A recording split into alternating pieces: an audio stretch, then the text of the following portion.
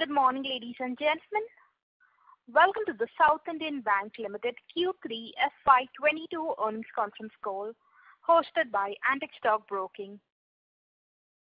As a reminder, all participant lines will be in the listen-only mode, and there will be an opportunity for you to ask questions after the presentation concludes. Should you need assistance during the conference call, please signal an operator by pressing star then zero on your touchtone phone. Please note that this conference is being recorded. I now hand the conference over to Mr. Sohail Halai from Antique Stock Broking. Thank you, and over to you, sir. Thank you, Lizanne. Yeah, good morning, everyone, and thank you for joining the call. Today, we have with us senior management from South Indian Bank, represented by Mr. Murali Ramakrishnan, MD and CEO, Mr. Thomas Joseph, EVP and Group Business Head Sales, Mr. Anto George, uh, Senior General Manager, HR and Admin, Mr. Sanchay Sinha, Head Liability and Branch Banking, Mr. Leelanand, Head Treasury, Ms. Chitra, Chief Financial Officer, and Ms. Minu, uh, GM Credit. Uh, the call is to discuss 3Q FY 2020 earnings and also uh, to look at the future outlook of the bank. I would request Mr. Ramakrishnan, sir, to give his opening remarks, post which we can open the floor for Q&A. Over to you, sir.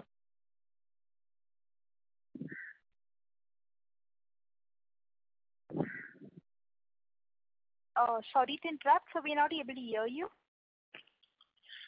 Thank you. Good morning to all of you, and thank you for joining us for the South Indian Bank Q3 FY 2022 earnings conference call.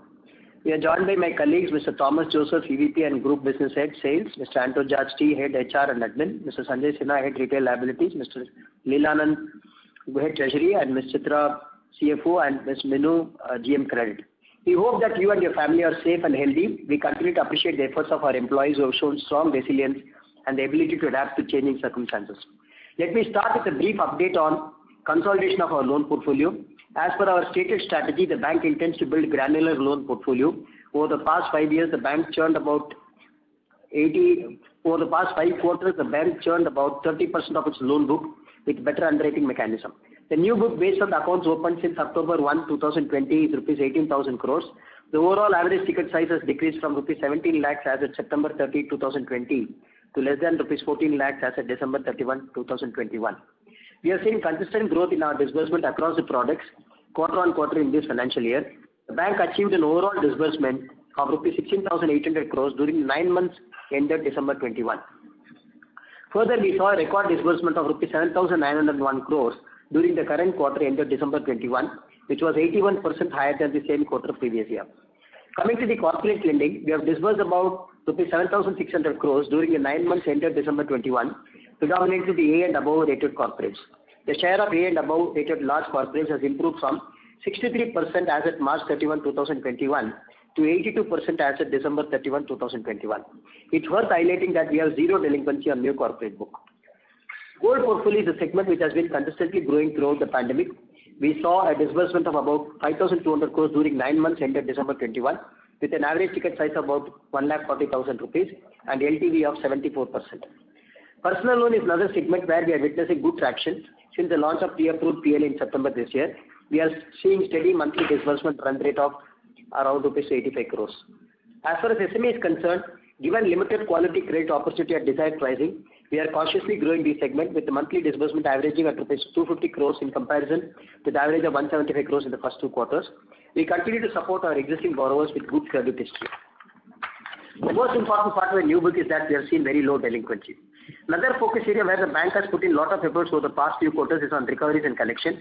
The bank has taken multiple initiatives to strengthen recovery process like beefing up collection team, onboarding collection agencies across the country, alignment of recovery team with asset verticals, and implementation of new collection system.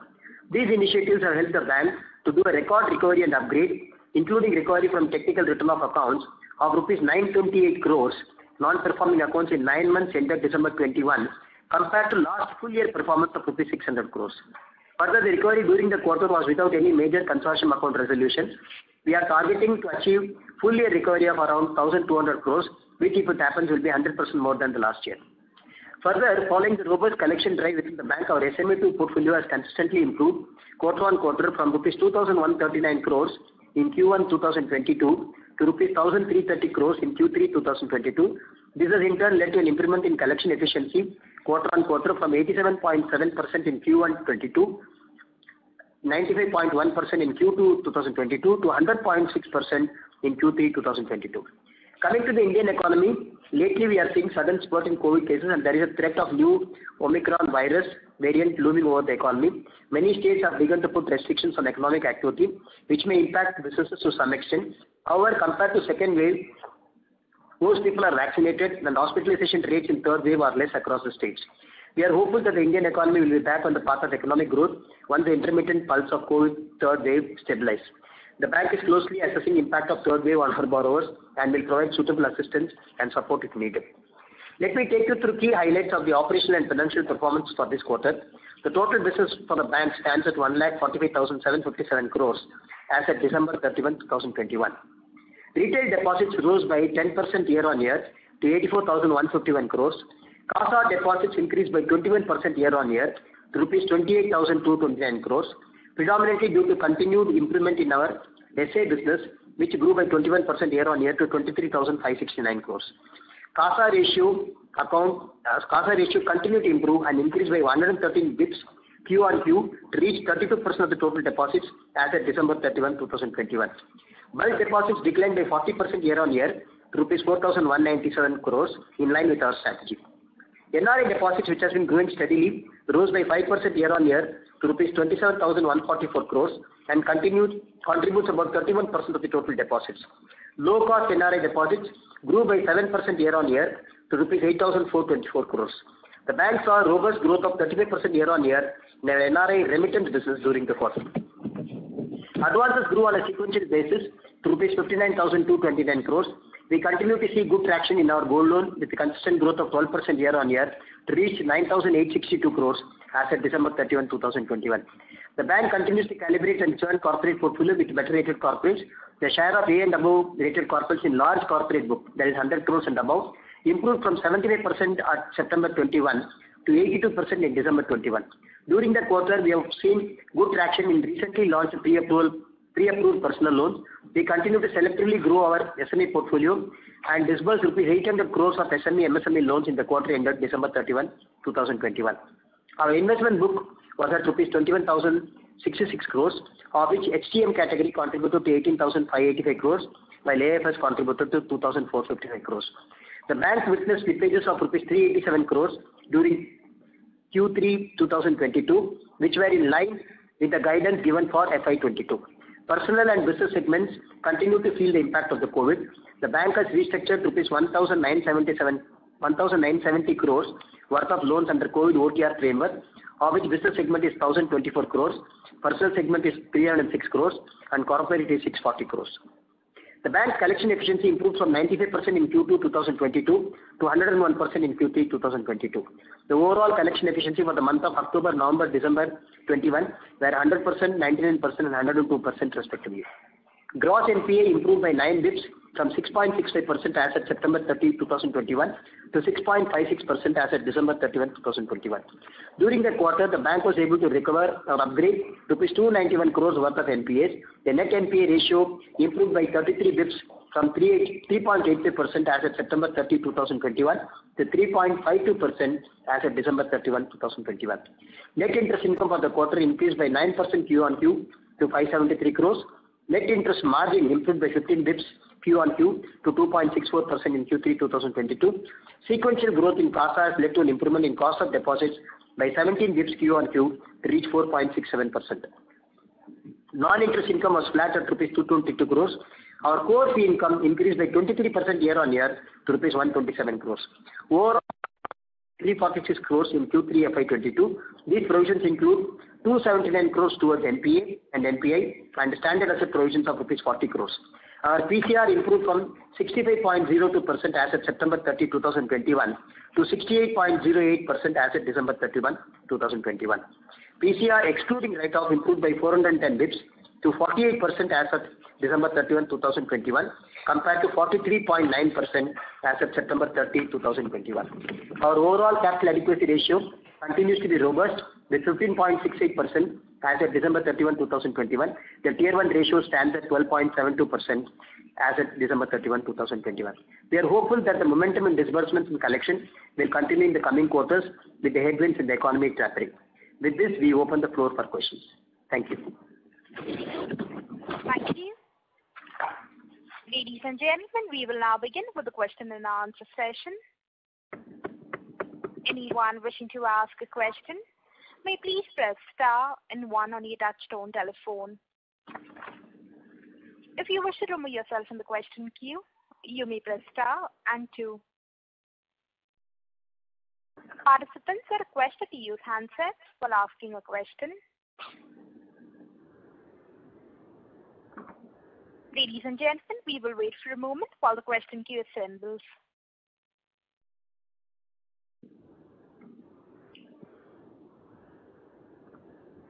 The first question is from the line of Gautami Desai from Chanakya Capital Services Private Limited. Please go ahead.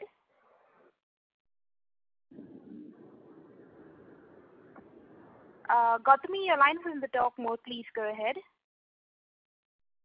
Yeah, yeah. You can hear me, right? Uh, Hello, can you hear me? Yes. Yes. Yeah. Uh, so we are very patient investors, and we really appreciate that, you know, uh, that the bank is trying to grow without a capital raise. Uh, and we request you to continue doing the same. So congratulations for that.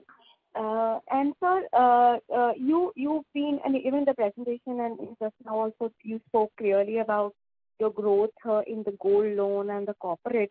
So similarly, can you can you take us through, you know, your growth across verticals and where are you seeing, you know, more.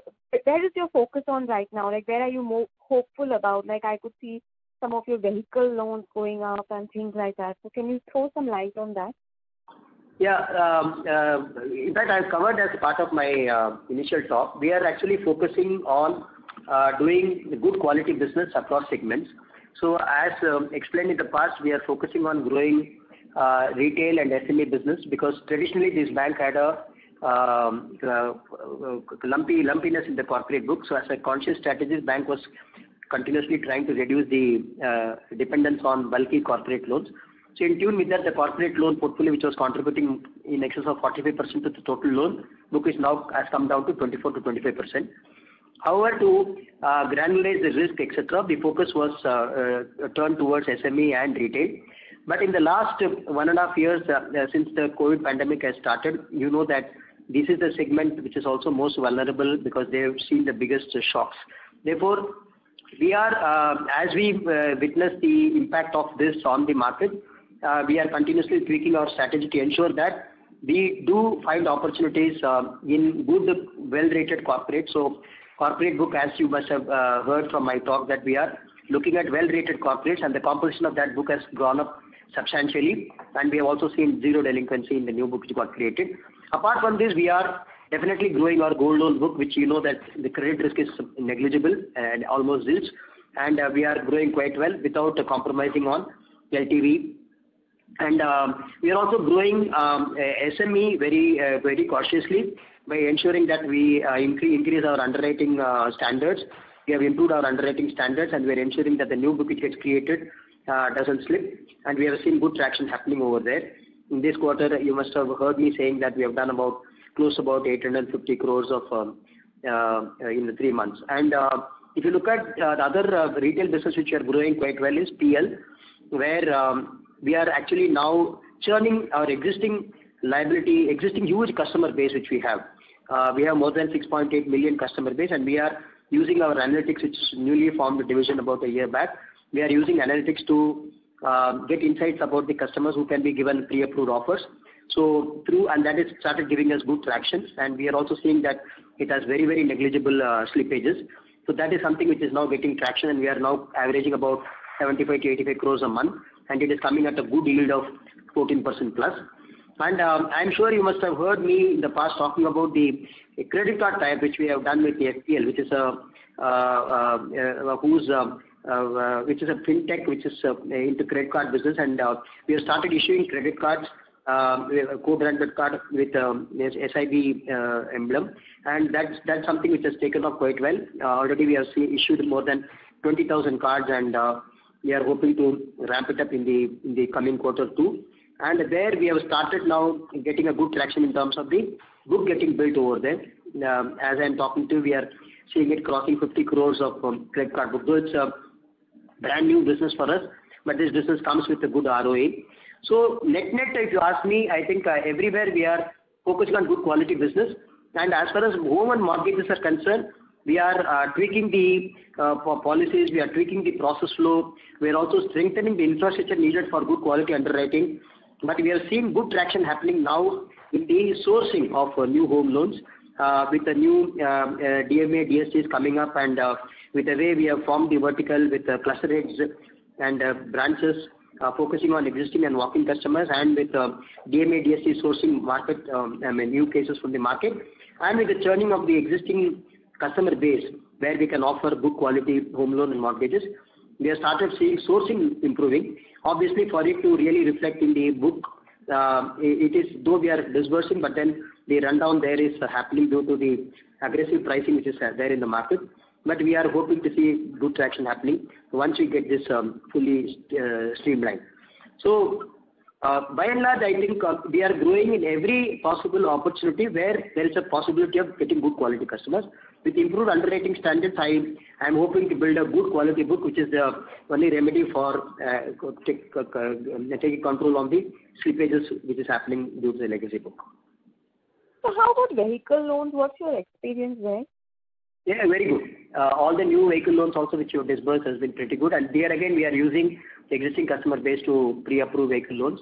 So which segment is within vehicle, which segment uh, you are seeing attraction? Auto loans.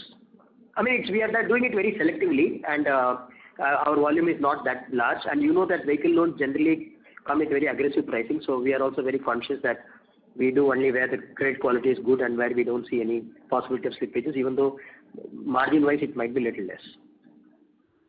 Okay. Thank you, sir. Thank you very much. Thank you. Thank you. The next question is on the line of Mahesh M.B. from Kotak Securities. Please go ahead. Good morning, sir. Uh, just a couple of questions. One is that, uh, when you are now uh, recovering these loans which have defaulted out there, what has been the kind of experience that you're seeing in terms of uh, enforcing the collateral as compared to the borrowers coming back and repaying the underlying dues? And how long is it taking for you to now recover the asset as compared to probably about a couple of quarters back? Yeah. Uh, see, uh, as far as collection and recovery is concerned, um, we are continuing to. We have one, we have first of all created a good infrastructure for doing a very focused collection and recovery. So we have formed a separate collection team, and particularly for handling retail collections, we have tied up with agencies across the country. And um, now the agencies have completely taken charge of doing collections. Earlier, this was done by the branch resources, and given the number of cases which they needed to collect from, and the same team was also focusing on SME and other collections. Clearly, the focus on retail was becoming less on the branch side. Therefore, now we are using agencies to do a very focused collection on the retail side. Now, with the bandwidth released um, of retail collections from the branches, now branches are focusing on SME and agri and other collections, uh, which are basically branch-led businesses.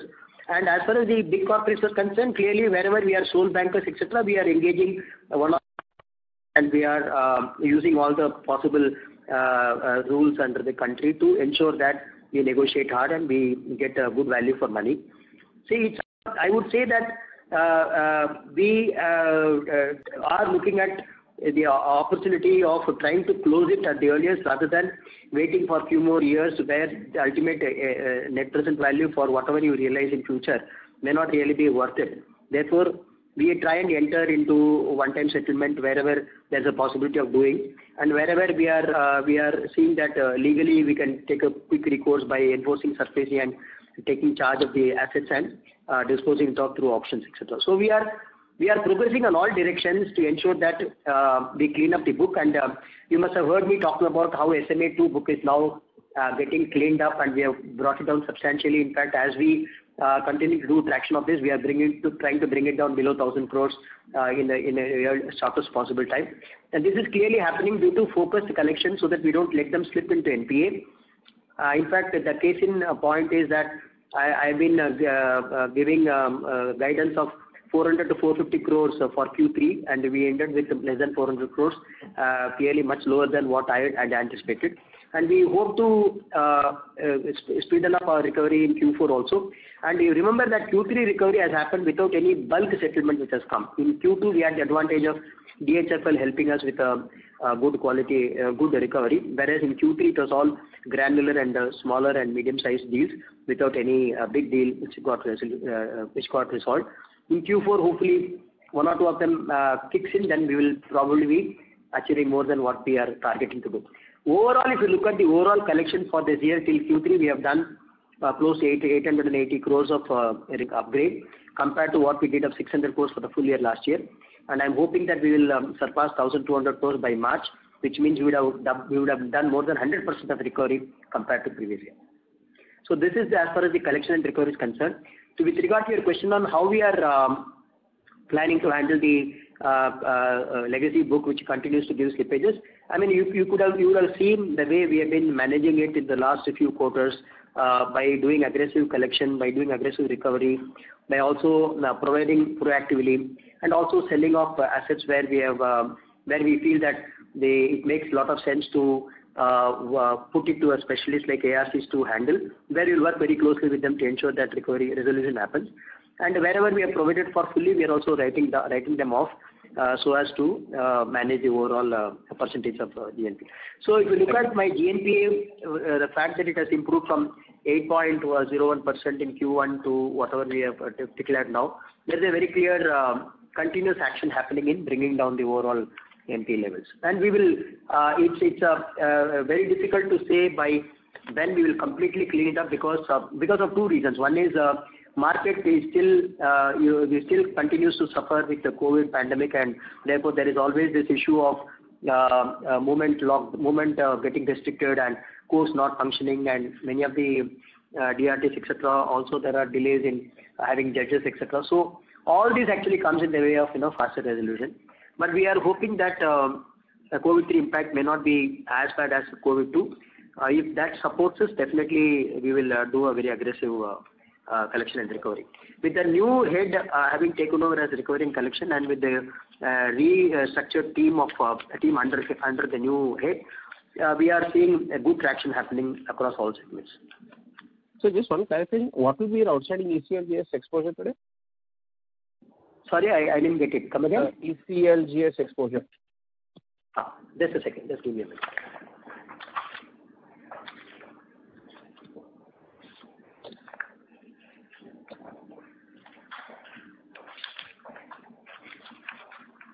Just give me a minute. I'm just taking it. I'll give you the right numbers. Sorry. And while you are looking at the data, just qualitatively, have you been uh have you started seeing slippages in this book and have you seen reimbursements coming in from the Credit Guarantee Corporation? I'll answer both the questions. Just hold on for a minute.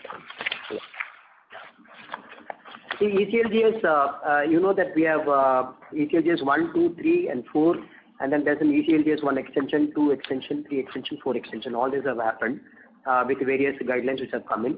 The total number of accounts which we have done restructuring as per this is about 10,859 accounts amounting to 3,339 crores. And uh, as uh, gross advances as of December is about 2,434 crores. and 166 crores have become NPA out of that. And this has predominantly happened in the ECLGS 1, when the bank had actually offered unilaterally to all the customers, and only those who wanted to opt out Uh, came and opted out. So we are seeing NPAs happening only in that. But uh, as far as ECLGS 2 and onwards are concerned, we have done a very careful uh, analysis of the viability of the cases which we are restructuring. We hope that we will not have see that much of slippages happening from ECLGS 2 onwards. But however, it all as you know, it all depends on how the market supports recovery and collection and various other resolutions. Just one clarification. 3,339 crores represents the loans under that ECLGS product, or is it the disbursements made under the ECLGS product? It's a sanction limit. 3,039 crores is the sanction limit, of which the gross advances outstanding as on 31/12 is 2,434. Okay. And this 169 uh, crores which has become NPLs, uh, you got the repayment from the credit bureau, uh, from the Credit Guarantee Corporation? Uh, yeah. Yeah, yeah, yeah. That that is continuous process and we've been. Uh, yes, that is happening. So you've had no negative experiences so far with the Credit Guarantee Corporation on the ECLGS disbursements? Not at all. Okay. Perfect. Thanks a lot. Thank you. Thank you. We'll move on to the next question. That is on the line of Anirvan Sarkar from Max Life Insurance. Please go ahead. Yeah. Hi, sir. Thanks for the opportunity. Uh, uh, one question. So uh what's your view on you know, your SME portfolio and your restructured loans? We are seeing uh, you know, reports saying that banks are now demanding an extension of ECLGS and moratorium on that. So if things are all good, then it leads to the question that why is this demand being raised? Yeah, no, I think it's uh, uh, the question which I answered just now. I read out the numbers which we did as ECLGS, and all those extension also forming part of that uh, number which I read out. So, um, see, as per the um, um, as far as the ECLGS portfolio in SME specifically, if you look at it, this is Uh, so, uh, see, as far as the ECLGS is concerned, wherever we felt that the viability of the case is uh, clearly established, we are going ahead and restructuring. And wherever we believe that the moratorium extension which we were to provide as per the revised guideline, when we see cash flows um, are showing a traction where they will be able to survive and repay, we are doing that. So we are fully adhering to the guidelines which are being brought out, and we are applying our underwriting mechanism to ensure that we do for the right cases. So as we uh, experience the recovery, uh, I mean, once the moratorium period gets over and as we see repayments start happening, we will, uh, because we have it's not that unilaterally we have given moratorium of 12 months and 24 months. Wherever customers have opted for much lesser moratorium also, we have given lesser moratorium, and we are seeing that the customers are repaying once the moratorium period gets over. So as far as, I mean, as of now, it's really not a great cause of concern for me. But having said that, since uh, COVID has impacted SMEs uh, and retail to a large extent, we continuously closely monitor as to what is happening in this segment. Sure. Sure. And sir, on uh, core profitability now, our core PPOP to assets is on the lower side. We are at about you know 60-80 basis points of fee and plus our margins minus OpEx. It would come to less than 1% basically. And uh so what's the trajectory we can expect here? Should we expect any kind of improvement going ahead? Because otherwise, you know, our ROAs are going to remain low. And even with some improvement in credit costs in the future, if our core PPOP doesn't improve, then ROA is likely to remain low. So what's our view on that? See, um, uh, ROE obviously will start uh, becoming positive only when we start actually uh, giving positive profit. So uh right now, uh in the last over the last 15 months, as per the stated strategy, we are churning the existing book which had quality issues. We are now sort of churning them for with better and better quality assets getting added. At the same time, resolving the earlier book in the best possible way. And while doing that, what are all the products which we can focus on, which will probably give us much better yield. So that's the reason why we started focusing on uh, personal loans, started having a tie for credit card. We are also now looking at uh, uh, a few other opportunities where we can probably get much better rates. So, like for example, commercial banking activity is something which we are now looking at it seriously because many of the corporate customers are SME customers, where we can look at a fee-based income, Um, uh, where we can look at uh, 100% LC-backed uh, discounting, et cetera. Where we are already there, but we will probably start doing more of them. And We are also looking at products like gold loan, et cetera, where the credit risk will be negligible. So it's a it's a journey. I think today my NIM is definitely improving, and you can see the NIM has improved even despite the market being um, moving towards moving southwards. Still our advances Uh, rate of interest is uh, continues to be almost at the same level for the last six quarters. seven quarters. Our cost of deposits has continuously been coming down because due to the efforts of CASA contribution going up and due to the fact that we are continuing to raise uh, more money at a lower deposit cost. And this journey will continue.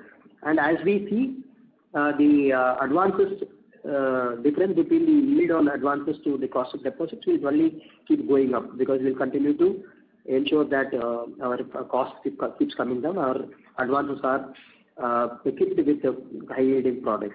But on the other side, we have a treasury which is also contributing to the overall NIM. There, if you see due to the adopted strategy of the bank to reduce the duration, et cetera, yield on investments clearly is coming down. And given the fact that there is limited opportunity for good quality assets in the market, the surplus which we have, we are also deploying it in alternate uh, opportunities. And we have also uh, diversified our income uh, from treasury by going for arbitrage opportunities, by going for currency, and even in taking part in IPOs, etc. Those streams have started giving us a good stream of income. Now, with the new treasury system coming into place, we will obviously Uh, be doing more in those activities also. So it's a journey which uh, which we are going through, and uh, definitely the milestone for me is to reach 3% NIM. Um, our aim is to reach it ASAP because that's the only way we can ensure that with the provisioning coming down and with the income going up, certainly the bank can turn around to a positive results. But the journey will go on for, in my view, depending on how the market also is conducive for Uh, slippages not happening and uh, helping us in doing better collection and helping us to manage the existing uh, book. At the same time, sourcing more and more of good quality new assets which are better yielding, and continuously tweaking our liability strategy. All right, sir. Thank you. I'll come back in the queue if I have any more questions. Thank you. Thank you. The next question is on the line of Jai Mundra from B&K Securities. Please go ahead. Yeah. Hi, good afternoon, sir, and uh, thanks for the opportunity. I have a couple of questions. Uh, so, one is, um, I think there is you have restated the numbers, uh, and you have taken the recovery from write-off accounts in usual other income versus what we were netting off from provisions till last quarter. Right. At the same time, it looks like that the MTM you have kept as negative item in the other income, right? Why is that so? Because I remember, my understanding is that RBI, uh, I mean, in the revised circular, there was no such thing, right? So you is there, uh, I mean, could you have written I mean could you have retained MTM in provisions or MTM depreciation is now mandated to come as a negative uh, line item in NII, in other income? Chitra, you want to answer this? I think she'll be able to answer it. Chitra, are you there?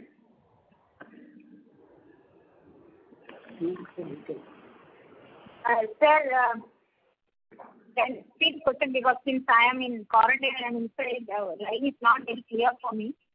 Uh, anyway, Vinod, you can answer. Sir, regarding the depreciation on investment, it has to be netted off with the other income. That is the RBI circular as of now. Only the amount required from written-off accounts, we have to Uh, adjust in the uh, come back to the provision, come back to the other income. Earlier, it was adjusted in the provision.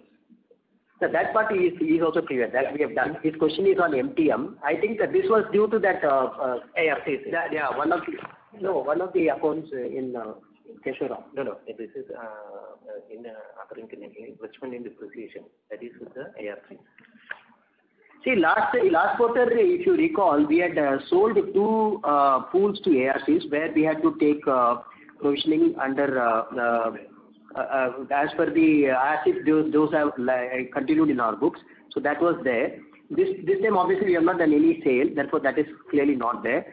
This time, what we have also done is that recovery which we have done from the fully written-off accounts, which is about 5 crores for this quarter, which has been shown under other income, which was earlier classified under provisioning contingency. If you have any specific question, probably you can, uh, uh, we'll get in touch with you, we'll clarify, because I don't know whether I have answered your question fully. Sure. So no worry, sir. Okay.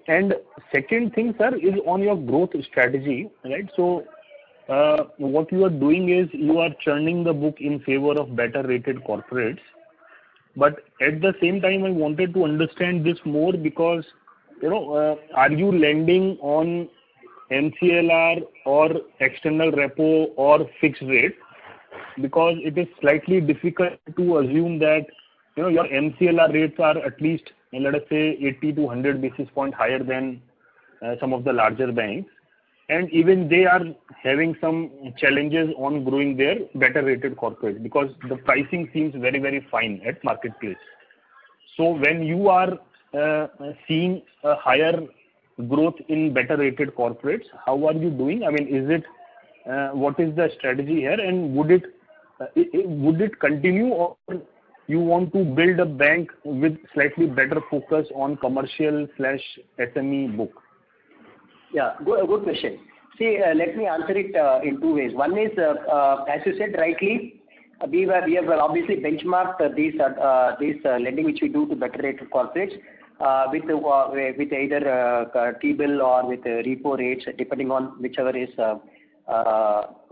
making us competitive. Second, we are looking at this as an opportunity in comparison to the alternate opportunities which we have. Because uh, clearly due to lack of good quality long-term assets, et cetera, we definitely have a surplus, and this surplus we are deploying for exploiting the uh, opportunities which are there. And I am doing it with a very conscious effort because many of these AAA corporates, once I get into AAA or AA and above rated corporates, once they get in lending, today I'm able to deepen my relationship with them by offering products like uh, dealer financing, vendor financing, even uh, uh, retail loans to the employees of those corporates, et cetera. Overall, this is very much in tune with um, the ecosystem concept, which anyway has been popular now, where a relationship ROE is being looked at. Even though you might have a very fine rate as far as the corporate is concerned, but overall the yield from the corporate will be much better due to the various other opportunities are there.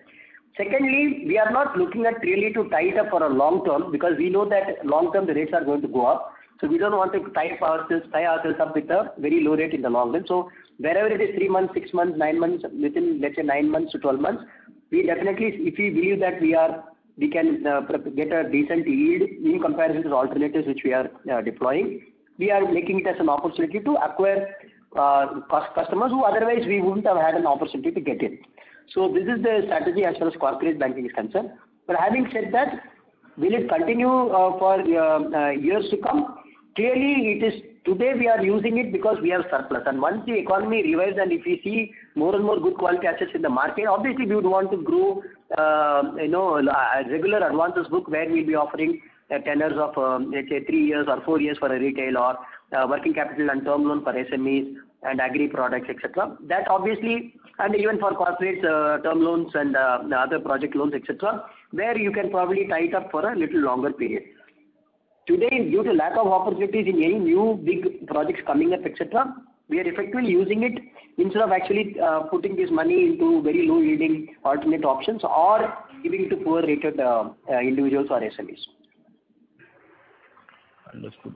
So uh on the SME side, sir, if I see that you are seeing a QoQ decline for the last five quarters, of course the environment is not very certain because of this uh, COVID and everything, then this segment clearly is more impacted.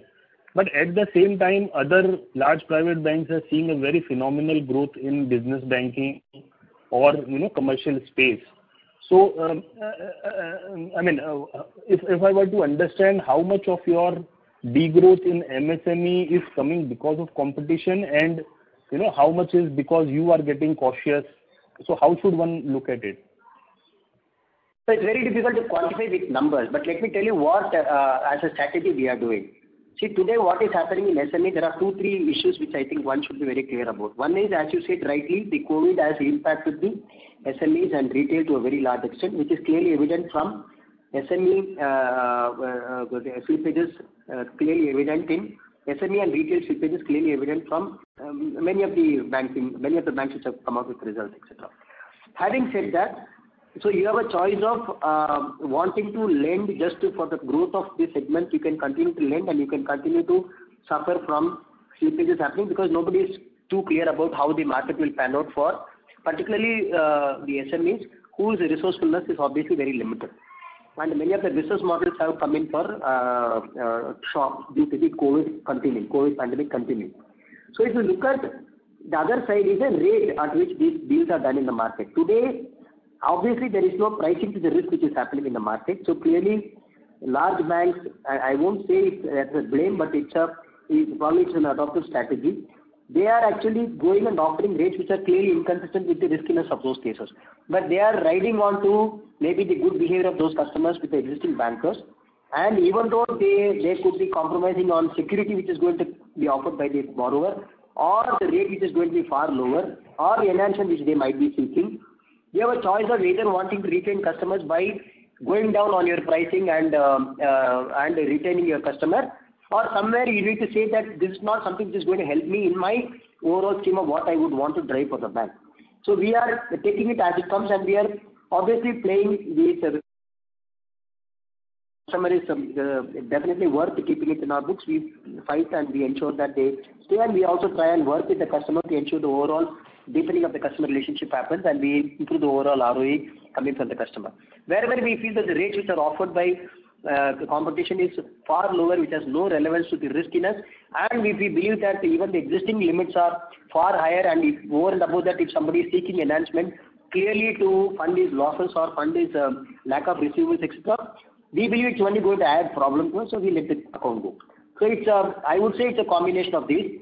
And having said that, there are segments in SMEs where we know that with a good collateral and with a cash flow assessment happening, where we have a GST data, etc., where we believe that it is a good uh, company to deal with, we definitely keep lending. And that's the reason why we are saying that SME new disbursement is clearly we are showing a good growth in new disbursement of SME. SME book degrowth is happening for two, three reasons. Book degrowing is happening due to A, slippages of SME book into NPA. That is one. Second, restructuring of SME cases, which I read out earlier also. Almost 1,000 crores SMEs were restructured due to the COVID pandemic. And three, very low rate SMEs, which today are uh, lured by big banks, clearly with the rates which are not priced to the risk.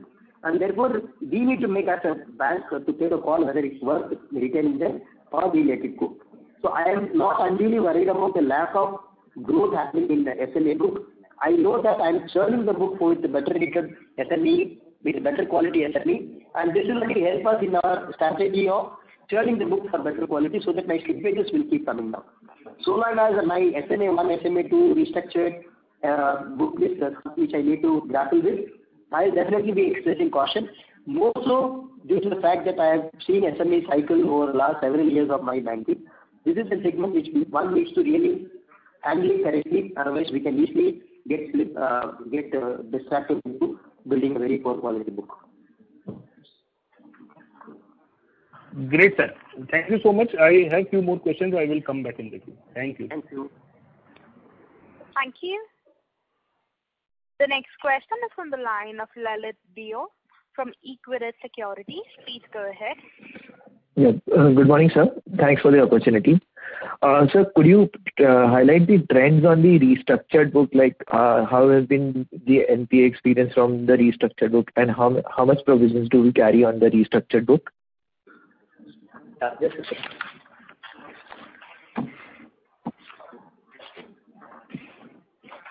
Yeah.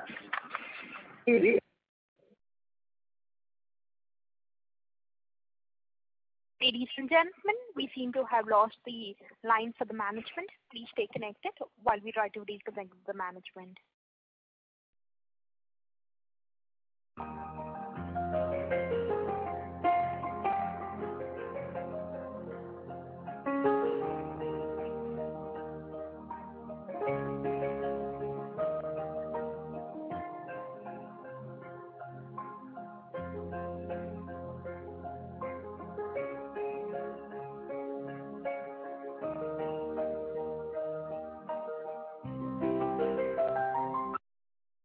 And gentlemen, thank you for patiently holding. We now have the line for the management reconnected. Over to you, sir.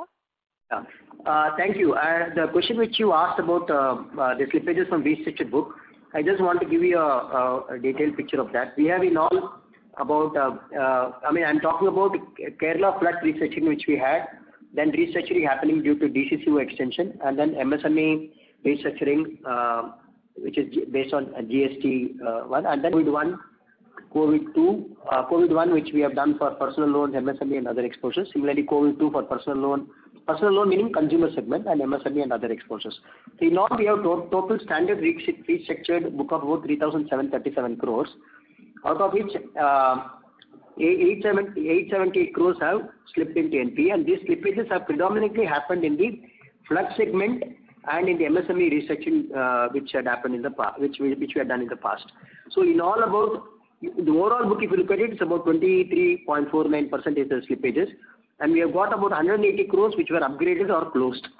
So overall, it has come down by about 112 crores, and as we are talking, it's at about 2,567 crores. That's the outstanding standard restructured book today. And we have seen very negligible uh, slippages obviously, uh, since of course moratorium is also there. We need to see how Uh, this will behave after the moratorium gets lifted. But by and large, we see that uh, uh, the slippages are predominantly in the flood restructuring and in the MSME restructuring in the past. And thank you, sir. Sir, like, what will be the provisions on the current standard restructured book? That's as per the regulations. It is about 5%. Okay, sir. And sir, uh, so could you give us like uh, the broad composition of the new loan book which has been generated post the September 20 and which is about 18,000 crore? Yeah, sure. Just a second.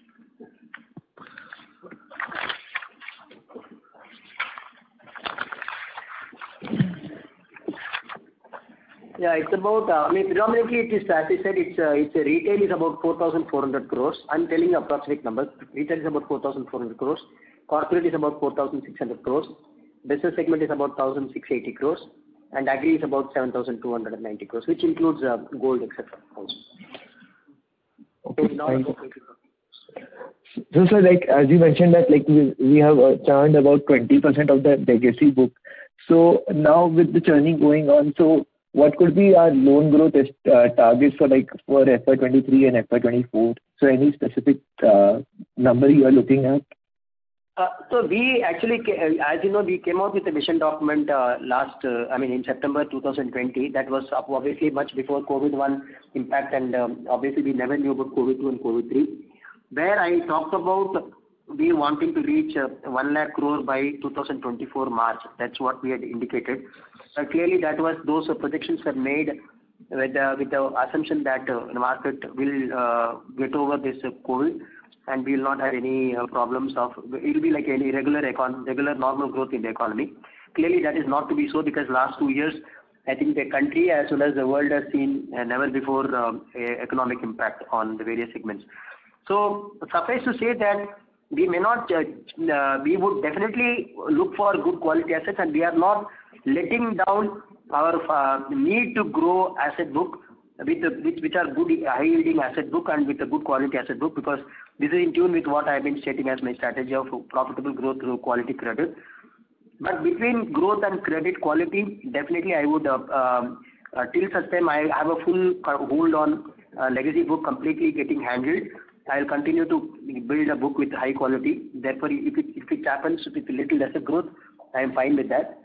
Because I know for sure that today, even with the NIM which I'm earning, even with operating profit which I have, if I have a clean book, my profits will definitely be far, uh, will be much much better than the loss which I'm showing today. So I need to improve my metrics in terms of PCR, in terms of GNPA, net NPA, and therefore I need to continue to have a grip on them. But having said that, clearly for each product, Q3, in fact, if you ask me, Q3 is the first quarter where we have had three months of actual normal, fairly normal economy. And we have shown that the bank is capable of doing good disbursement in the three months. If only the economy continues the way it is, it was in Q3, definitely we can catch up with the numbers which we have targeted. But having said that, here I am once again reiterating that it is not merely for the growth that I'm looking at growth. I would want to have a growth with quality. So long as it is coming with good quality, I will continue to lay emphasis on growth. While doing that, my bigger focus will be on recovery collection, handling restructured books, handling Uh, SMA book, et so that overall metrics in terms of GNPA, NPA, PCR, et cetera, gets covered. At the same time, our NIM continues to become healthy. and we continue to uh, uh, grow our CASA base, which is going to make us more and more competitive. We'll definitely grow our government channel, TASC and NR, which are really firing very well now. With all that, we hope to continue to work on improving our cost of funds because market rate is something which we cannot determine. Market rates are going to be decided by how much competition is desperate to get an asset. Therefore, what we can do is what we have in terms of liability, uh, better liability sourcing. That is something which I'll continue to focus on, so that with better NIM coming in and with a very less impact on provisioning due to better quality assets, we believe that we can turn around the bank for profitability. Sure, sir. Thank you. Thank you. Thank you. We'll move on to the next question. That is on the line of Nilanjan Karfa from Nomura. Please go ahead. Uh, hi, sir. Uh, Morning. Thanks for the opportunity. Uh, two or three broad questions. First one is the data. When you talked about that ECLGS account and you mentioned 166 crore, that's what I noted as slippages. Is this 166 crore the total stock of loans or just a portion of ECLGS which has slipped? Yes.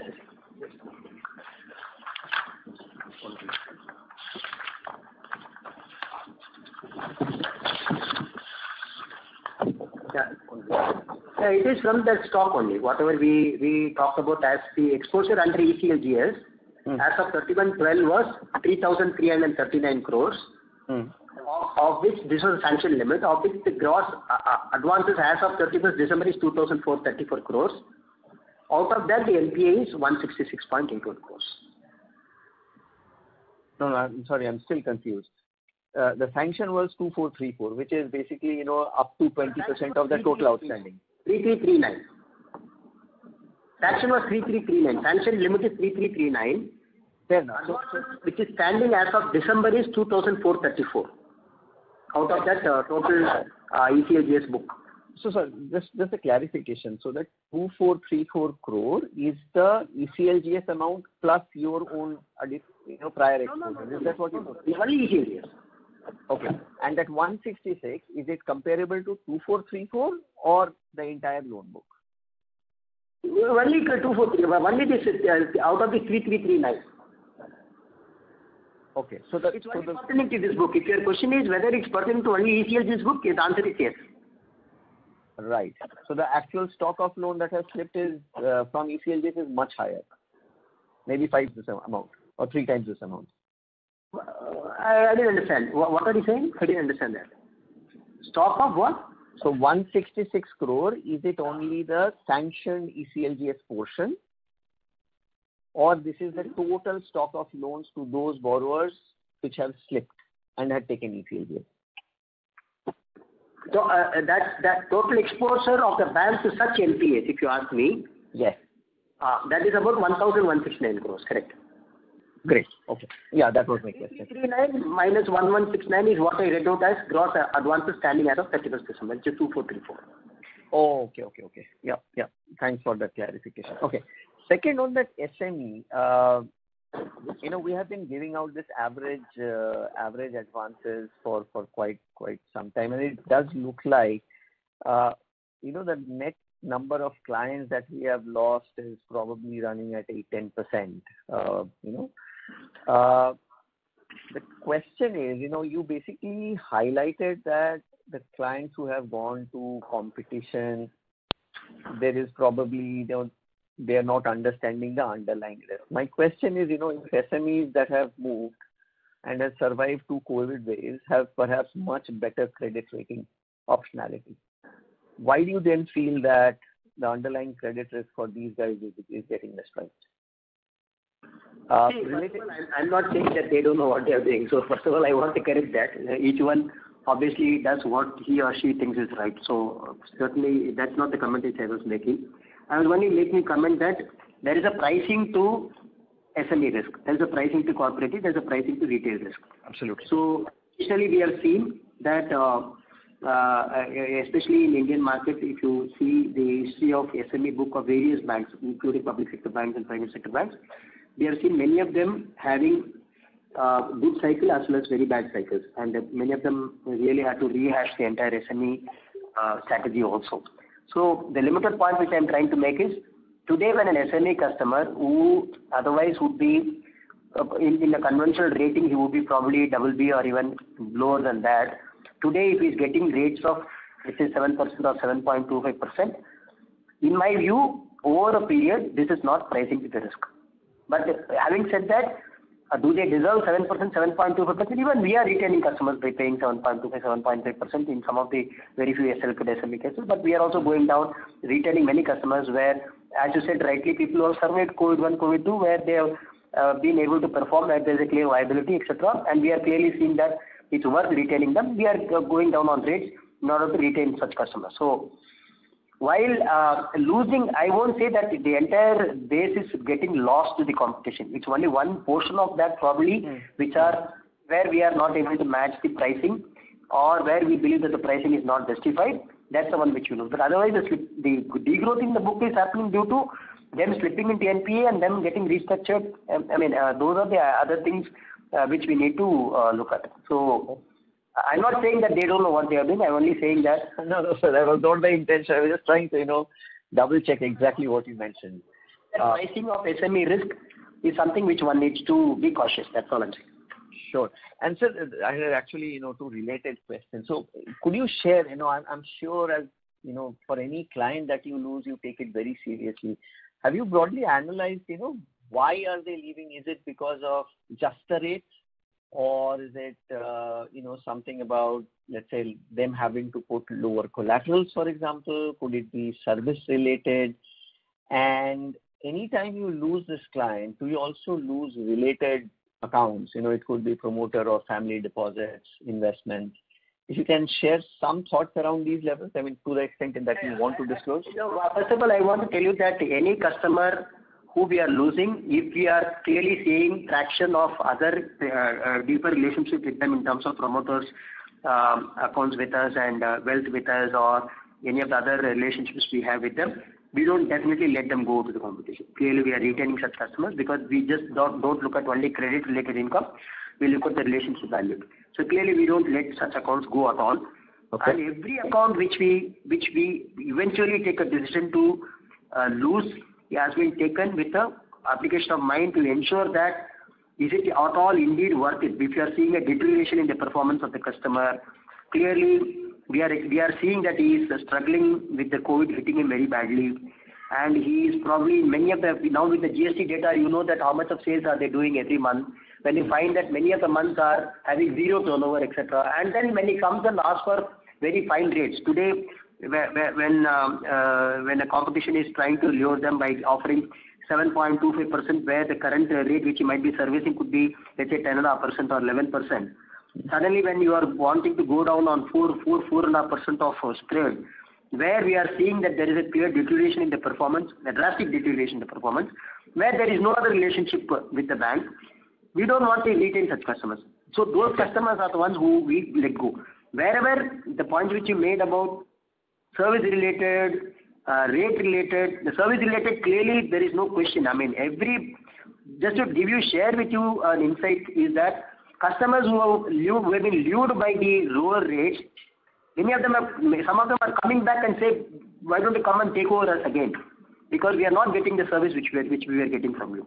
So clearly service, there is no question. I mean, these customers are, we, we clearly have a huge edge in terms of service, and it's a well-known fact that um, uh, the banks which are clearly regional banks, et cetera, have a much better uh, relationship value with the customer in terms of um, being an integral part of whatever happens in their family, et cetera.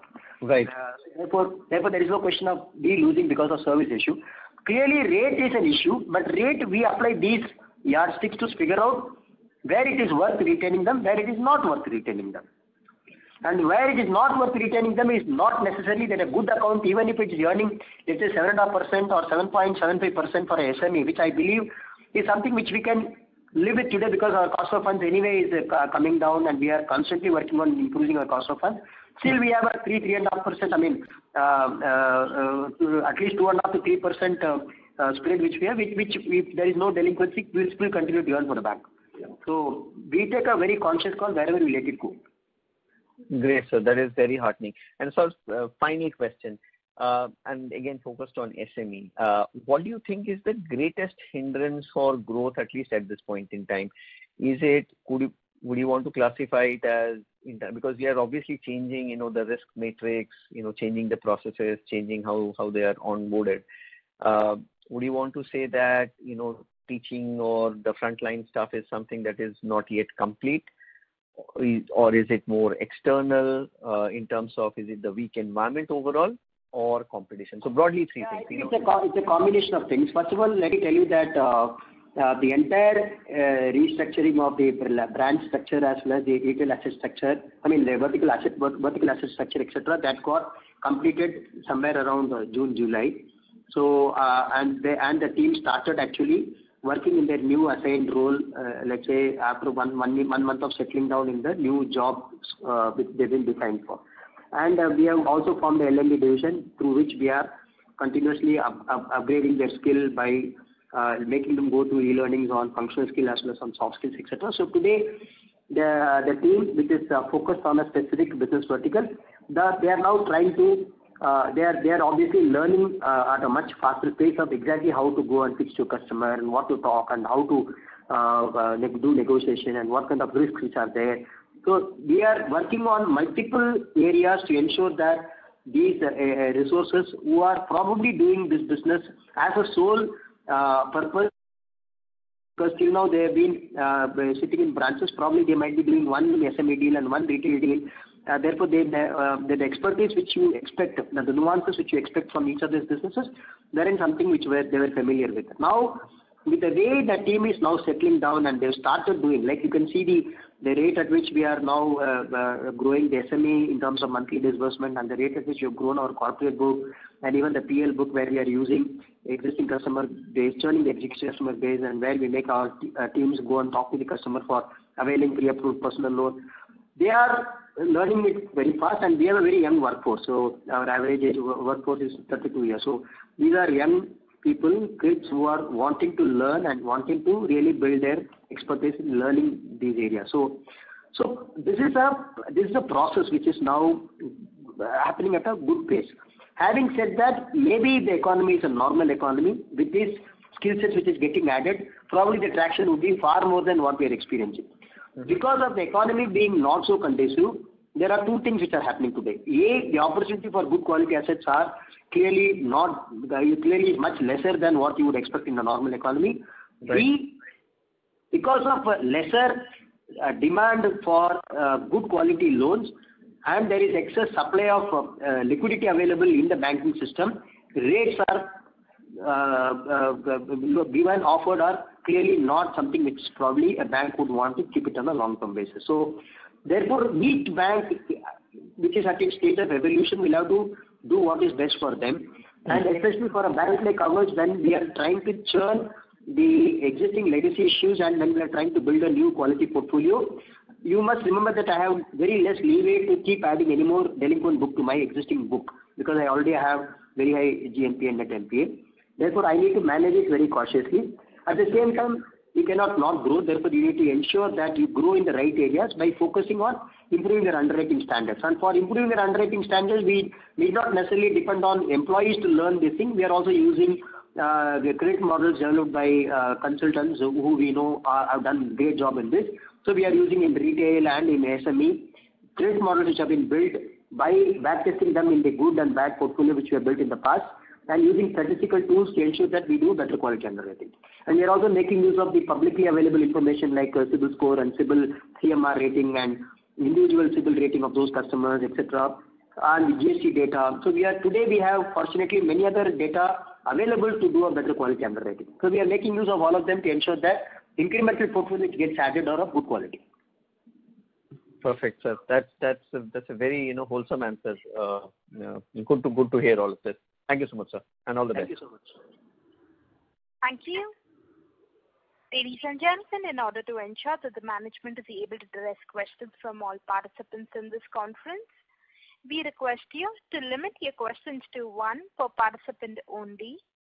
The next question is on the line of Akhil Hazari from RoboCapital. Please go ahead. Hello, good afternoon. Am I audible? Yeah, yeah. Hi. So I just wanted to know, uh, could you give us any guidance on credit cost for FY 2023, FY 2024? Yeah, I would like to give uh, a firm answer for this, but you know the situation which uh, the economy is in. I would be uh I will probably say that we'll continue to work with the 2%-2.5% kind of credit cost. That's what we are looking at. Okay, fine. Okay. Thank you so much. Thank you. Thank you. The next question is from the line of Bajrang Bafna from Sunidhi Securities. Please go ahead. Hello. Uh, sir, just uh, one question. Uh, can you share, you know, the exact loan book, you know, which is currently enjoying moratorium, either in terms of interest or in terms of principal, the total across different categories? This is the ECLGS figure which I just a second. Apart from ECLGS, I think you have given that number is close to 2,500 crore. Um, just rounding it off. Any other uh, book which is also enjoying, uh, you know, moratorium, either uh, interest moratorium or principal moratorium under extended advances or some other category? No, there is no such. I mean, there is nothing big which we need to really inform. Typically these are the ones which are restricted, where we been clearly giving moratorium based on the guidelines which are there.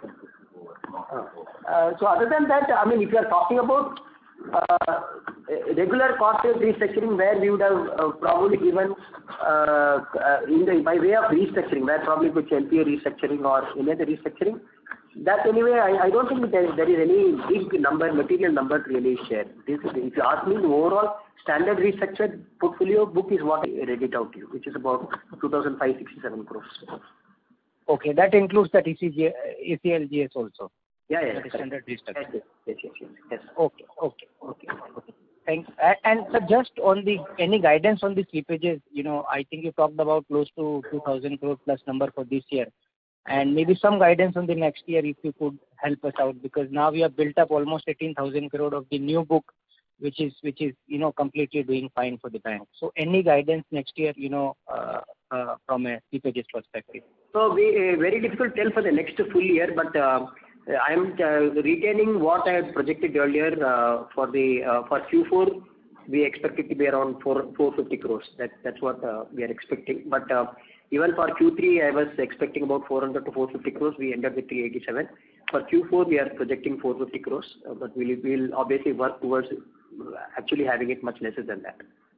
Next year it's very uh, uh, too early to talk about because we clearly do not know how uh, COVID-3 will impact. And uh uh what we can what we are definitely sharing with you is this new book is clearly which has not given any issues for concern. So obviously that again, it's too early to conclusively prove anything. So we will take it as it comes. And definitely, by towards the end of Q4, we will definitely Uh, get a good sense of uh, how we want to how we are looking at the coming year. We'll uh, share that numbers with you. Thank you very much, sir, and all the best. Thank you. Thank you. The next question is from the line of Sri Shankar from InCred. Please go ahead.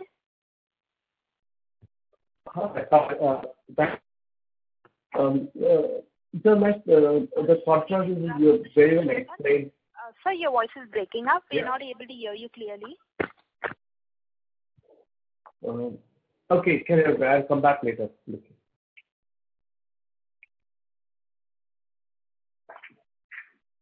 Hello, can you hear me now? Um, yes, sir. Please proceed. Ah, my question was, uh, you explained very well about how this entire uh, restructuring or the way business is looked at has been changed in the bank. How much has your entire the staff who has been doing a completely different thought process, methodology for the last so many years, adapting to the new changes? Because while you are advocating what is required in the current environment, is the personnel up to date with what is the required? What are the changes that is required? Yeah, clearly, uh, see the change, if you're asking about how the team is adapting to the changes which are required, Uh, as I said, the uh, average age of our workforce is very young, and these are all young uh, professionals, and many of them are MBA and engineers and chartered accountants, et cetera. Clearly they all have a great learning adaptability. And while we are I'm articulating these changes, I also do a continuous communication with the entire bank as to clearly explaining what we are doing and why we are doing and what is expected from us and what is expected from them. And we are also equipping them with the tools which are required so that they understand clearly what they need to do and how they need to do, et cetera. It's not just about functional competency alone. We are also looking at how, what kind of uh, soft behaviors which would help them to really perform well. So even as uh, uh, early as when I took charge, we had clearly articulated nine core values which we want every employee in the bank to be exhibiting. And we have clearly defined how these will have to be Um, adapted in the work situation, uh, across cutting across functions, etc. And Even we have incorporated this in some of our appraisal mechanism, in the feedback mechanism which we are planning to give to our employees. We have uh, we are clearly articulating to them what they are good at and why they need to improve, etc. So That there is an overall positive um, change which is being brought in in terms of their thinking, in terms of their action. And clearly we are using it as a rewarding mechanism to ensure that the behavior changes stays with them. So I Uh, uh, won't say that it is very very easy, but uh, having said that, I don't think it's very difficult also because even in an existing institution, not necessarily from SIB, I'm saying even any other bank which is operating today or any other financial institution which is operating today, I think the changes which are happening in the environment is really so fast that even a non conventional bank today we will have to think about how to adapt digitally the whole uh, uh, fulfillment and how to digitally source a liability customer, asset customer, et cetera. All of them are undergoing changes, and in a way it's easy for us because while we are instituting these changes, we are also making them exposed to the latest which is happening. And being a technology bank, we are very very strong in uh, the technology area, and we have made, um, as I'm talking to you, 93% of our transactions happen digitally. So it's we are actually cutting the learning curve very very fast, and we are now comparable, and we have been continuously featuring as top 10 banks in the MeitY index of uh, released by Government of India. And we have been continuously bagging awards in technology area. So the team is pretty much aware that technology is uh, going to be the future, and they are already experiencing it because many of them are youngsters. Today, they know that the everyday uh, requirement is also taken care through technology. So they are adapting it very well. So I I am happy to say that we are seeing good traction. Yes, can we expect much higher productivity than what I'm experiencing now? I'm sure I will, but uh, it's also due to the fact that economy today is not very conducive. I mean, we are experiencing 100-year situation. Therefore, if things were to remain, go back to normalcy, I'm sure these skill sets will definitely help us to be far more productive. Okay. Nice to hear that. And uh, We have been interacting for quite some time now. You had uh, laid out your strategy, and good to see that you are implementing it and the effects slowly coming in. Thank you very much. All the best to you. Thank you. Thank you so much. Thank you. Ladies and gentlemen, we'll be taking the last question. That is from the line of Rohan Mandora from Equirus Securities. Please go ahead. Uh, Sir, thanks for the opportunity. Just one question. In terms of the new disbursements that we have done of around 18,000 odd crores, uh, what would be the incremental ROA or ROE that we are making, assuming that the credit cost is more normalized on that portfolio? Uh, probably we we'll work it out and get back to you because I don't have the ready numbers with me. Uh, because uh, we have just started accumulating. I mean, if you see even the the rate at which this we have built this book also, good traction has happened only in the last six months. Because Q2 was the first quarter where at least we had one and a half to two months of normal situation. And Q3, all the three months were normal situation. So many of these loans are also fairly young loans in terms of the tenure. But we will work it out and get back to you, Rohan. Sure. Alternatively, if I may ask, in terms of pricing these loans, like what is the target ROA or ROE we are keeping in mind? And are we able to price it at that level, or it is still because of competition priced lower? So we are, uh, let me take this into two parts. See, one is the opportunity which we are trying to exploit in the short term, where we have surplus funds available today and which we are deploying it in, uh, let's say, any opportunity today. Whether we are able to make much more money than that by Uh, uh, uh, doing a short-term opportunity in terms of bill discounting or whatever. So we are that way we are able to onboard good customers, et cetera, where we will start penetrating more and more by offering other products to them.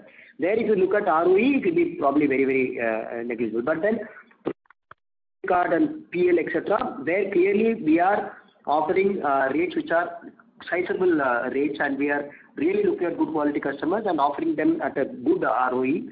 So therefore, these products are really good earning ROEs. And even my overall, if you look at my ROI, the return on, um, I mean, the interest rate which I charge, it hasn't really gone down over the last six, seven quarters. So I continue to earn close to uh, 9% in my overall book, whereas my cost of funds has been continuously coming down. Uh, cost of deposits has been coming down, even cost of funds have been coming down due to better CASA and better uh, sourcing of deposits at lower rates. Whether I'm able to get the exact ROE which I am targeting, So I am targeting double-digit ROE. But this double-digit ROE which I was mentioning as my deliverable was with the situation when we had uh, laid down our uh, strategy document. Uh, obviously, that was much before COVID, one huge impact in COVID two and COVID three, where market rates have from then from then to now, they've gone down like crazy. So clearly, while our endeavor will be to the target double-digit ROE, currently the bank first needs to get into profit, uh, which will happen with uh, more and more of good quality assets and handling of our existing legacy book, and by sourcing continuously sourcing high uh, yielding products. When we start growing those products, we'll start getting much better ROE and ROE. Credit card business clearly is one where we are expecting ROEs to reach about 2%, and we are already we have we have built a book of over 50 crores, and it's growing quite well. And of course, we are late entrants to these businesses, so we will take it as it comes.